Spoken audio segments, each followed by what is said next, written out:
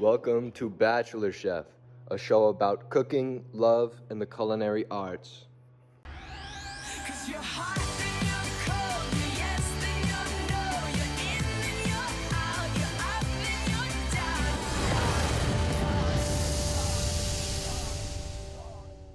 I think I have a good shot of connecting with him tonight. I'm gonna be making a really special dish, and he's a really special man. I think we're just meant to be.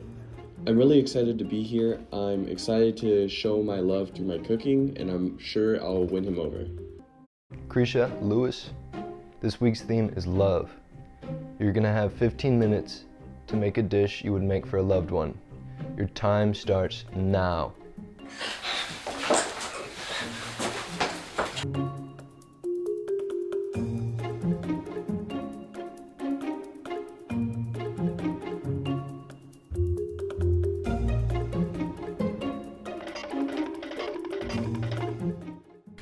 What are you making?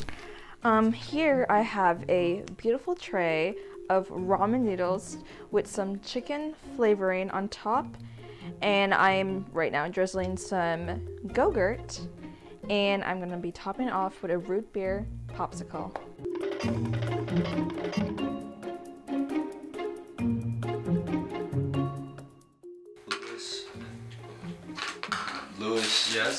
What are you making? I am making uh, s- a stack of pancakes for you. Uh, I'm trying to make it extra special for you, just for you. Um, I might add a side of drink. I'm not sure at the moment, but I'm sure it'll be good. Can you move? My fault. Yeah. So, how's it going? Yeah, I'm making you something. I think you like it. Your snack. Okay, Okay. Um. So, what do you like eating? food. Yeah. Well, let me get some food. Yeah. Stay right there.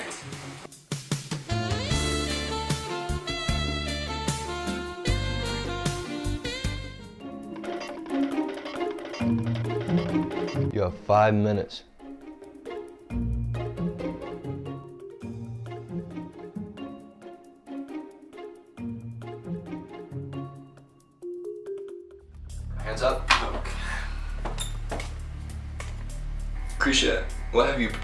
Today? So today I prepared for you a three-course meal. So for starters, we have our homemade cookies that were not bought at all. They're made straight from straight from the kitchen. Um, then your next dish would be the oatmeal made with cinnamon and some love. And your final dish, which is dessert, is a ramen chicken hard heart and it has some Go-Gurt on top with a root beer popsicle to top it off and some cinnamon. And of course we also have orange juice. Let's dig in.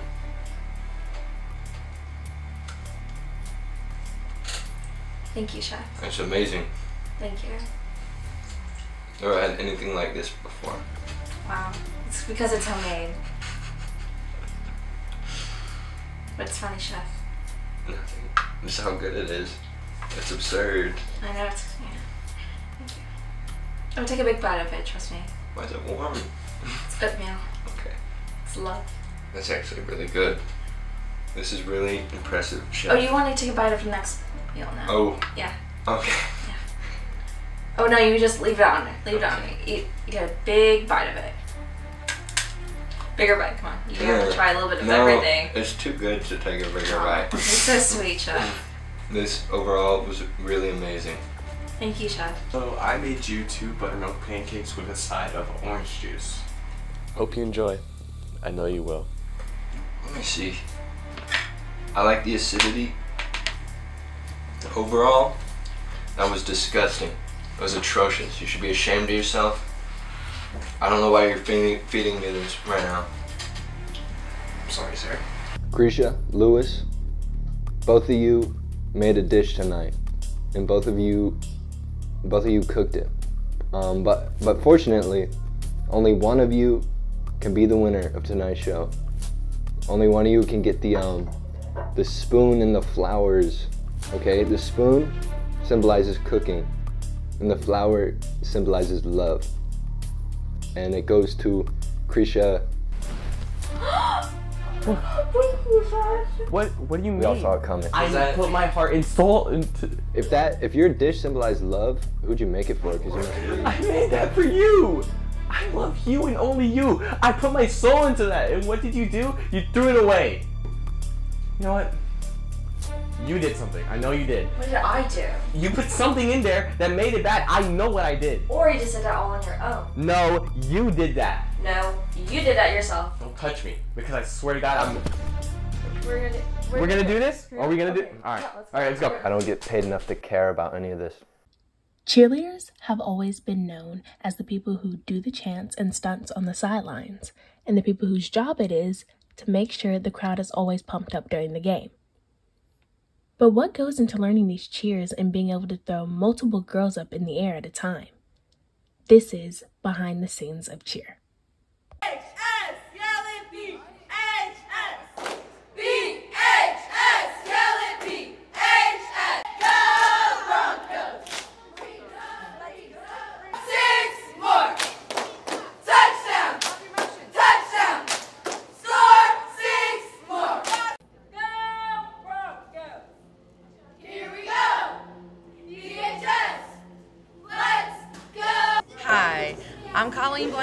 Coach Blank, and I have been at Brookwood for many years. And these lovely young ladies right here are the reason that I keep coming back. Well, I've been cheering probably as long as some of these have young ladies have been cheering since I was real little. I've gone all the way up through high school and through college, and when I started to teach, it was kind of a natural progression, and I I wanted to stay young, and so I continue to coach. It's because I love these people and they drive me crazy. Dank. Ja,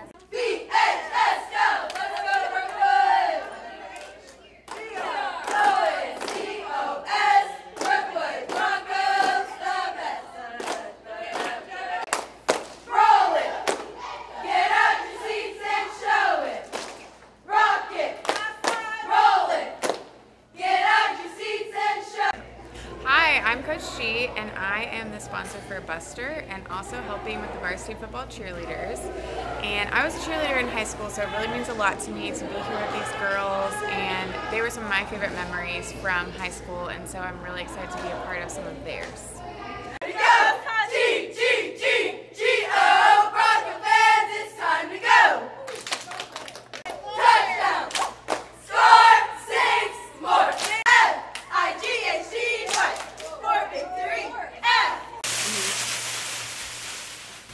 Nicole. I'm Kayla. I'm Kennedy. And I've been cheering for 12 years. I've been cheering for 11. I've been cheering for 13. And one thing I like about cheering for Brookwood High School is I like bringing leadership to the team and just keeping our boys motivated. I love getting the crowd involved and I love the feel of Friday nights. I love the positivity and the food. I literally walked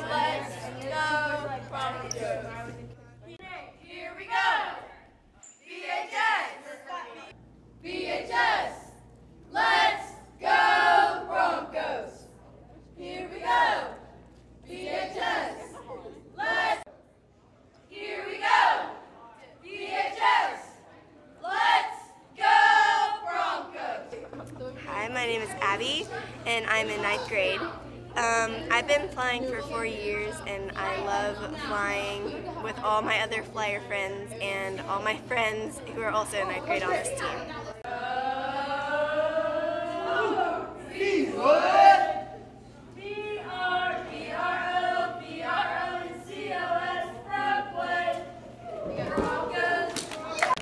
Hi, my name is Sloan Hill. I'm a junior and I'm one of the captains on the football varsity cheerleading team. I've been cheering for 11 years and to me cheering's all honestly it's all that I've ever done.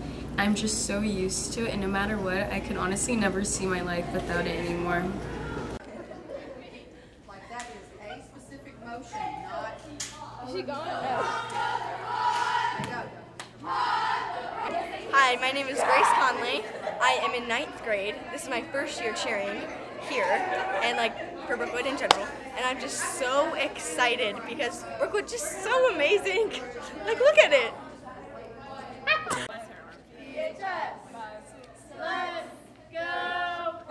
BHS. Let's go Broncos. Here we go. BHS. BHS. BHS. Yell it BHS. BHS. Yell it BHS. And we're giving out sweatshirts today.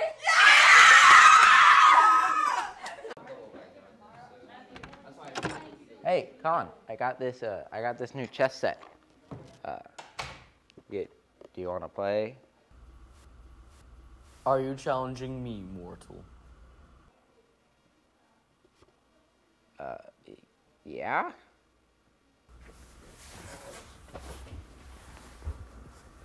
I accept your challenge.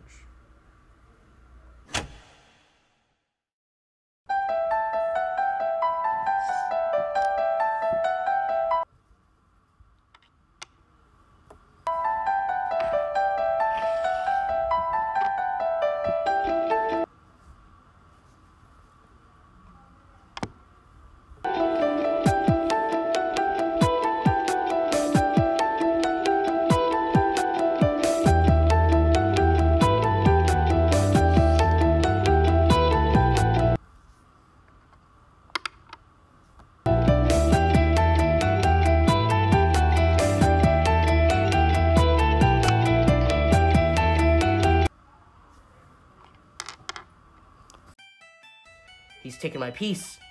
I'm at a disadvantage. If he moves his queen, then he can take my knight. But if he takes my knight, then I can use my bishop to take his queen. But if I use my bishop to take his queen, then he can use one of his rooks to take my bishop. But then I can castle up and protect my king. But then Are are you gonna go?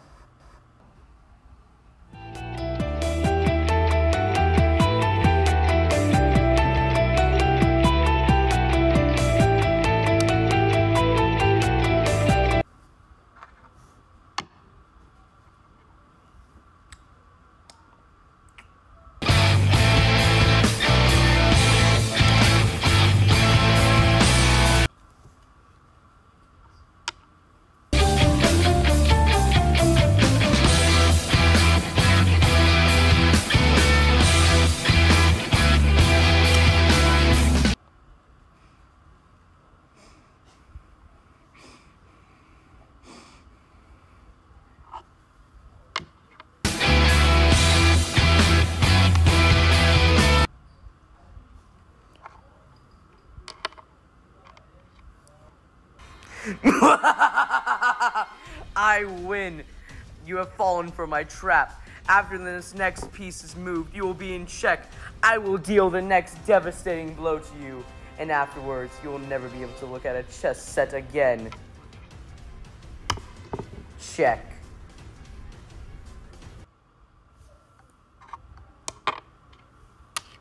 Checkmate.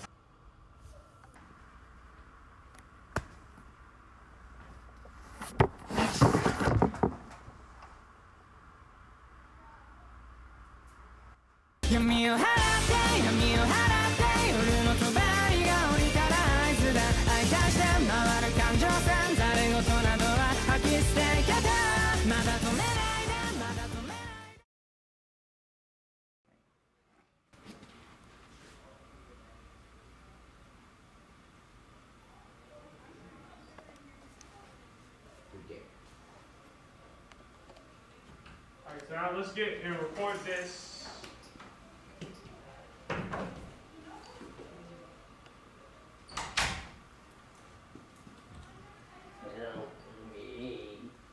because I wouldn't be able to re-record my albums if it weren't for you. And I had I had sort of made up my mind that if you were going to be this generous uh. and give us this, I, I thought it might be a fun moment to tell you. No. Uh, huh? What? What? What?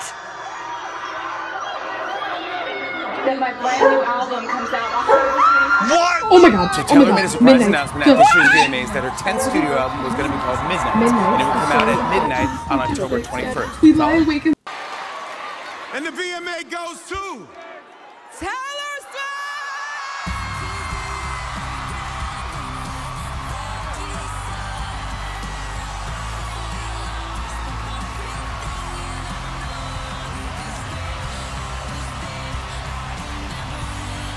I had I had sort of made up my mind that if you were going to be this generous and give us this I, I thought it might be a fun moment to tell you that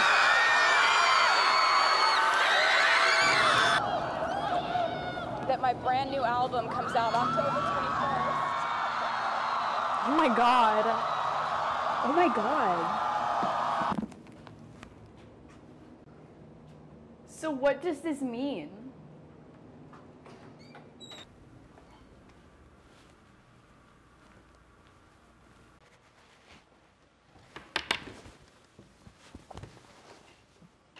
On August 29, 2022, Taylor Swift announced her new album Midnights, an album about 13 sleepless nights scattered throughout her life. Swift posted about the inspiration behind this brand new album on Instagram, which states Lie awake in love and in fear, in turmoil and in tears. We stare at walls and drink until they speak back. We twist in our self made cages and pray that we aren't, right this minute, about to make some fateful, life altering mistake. This is a collection of music written in the middle of the night, a journey through terrors and sweet dreams, the floors we pace and the demons we face. For all of us who have tossed and turned and decided to keep the lanterns lit and go searching, hoping that just maybe, when the clock strikes 12, we'll meet ourselves. Midnights, the stories of 13 sleepless nights scattered throughout my life, will be out October 21st. Meet me at midnight. Countless theories have been made about midnights, some realistic and some a little more dramatic. Taylor Swift is flawless. She's won 11 Grammys. She's the most awarded artist in AMA history. I heard that Taylor's releasing a new album on Kim's birthday. I heard this album was gonna be rock, so I became a rock star. So, I have figured out that Taylor Swift has hidden her track names in her Instagram posts, okay? And with a formula I have created by myself, I have figured out every single possible track name she could ever make in the future. When I heard that Taylor Swift's new album was going to have 13 songs on it, I got so excited. I mean, I don't want to say that I'm a super fan or anything, but she's kind of great. I heard that this was going to be the most heartbreaking album yet. So I broke up with my boyfriend to truly experience it all. I heard Taylor Swift announce her new album 13 years after the infamous VMAs incident. So, what do we actually know about the album? Well, it's been officially listed on iTunes as pop, and Jack Antonoff has been confirmed as the producer. Taylor is slowly releasing the names of her track list through TikTok in a series that she created called Mayhem with Me. And that's all that's been officially released about the album as of Monday, September 26th, less than a month away from the actual release of the album. I'll see you then. I'll meet you at midnight.